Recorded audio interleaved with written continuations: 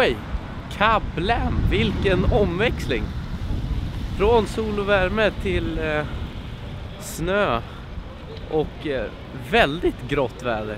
Ja, så det här är Sverige alltså. Det är grått och det känns dystert. Det här måste vi göra någonting åt, känner jag.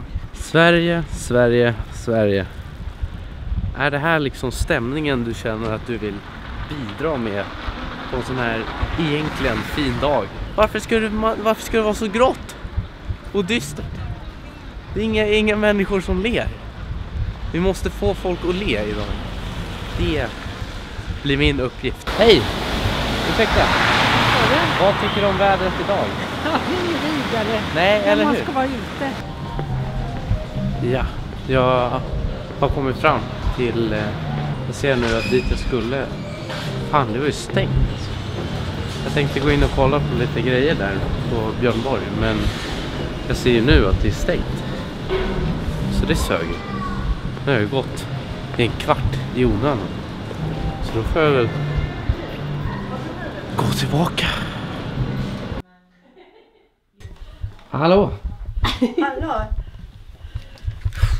Hej. Hej. Innan få se dig innan du åker till Ja. Åre. Det här vädret är väl onödigt i stan. Ja. ja, du tycker också det. Jag var ute lite i morse.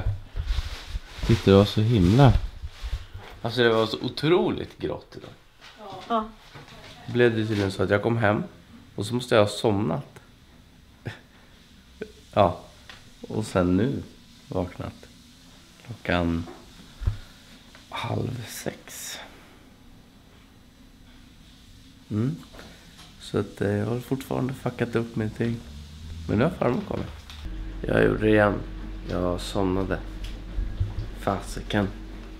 Och alla har gått och lagt sig.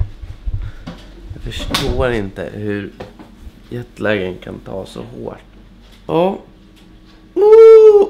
Jag är ledsen att jag är så förvirrad de här eh, senaste vloggsen här. Jag ska, jag ska göra mitt bästa för att ta mig tillbaka. Yes. Så att, eh, ha det bäst så syns vi imorgon.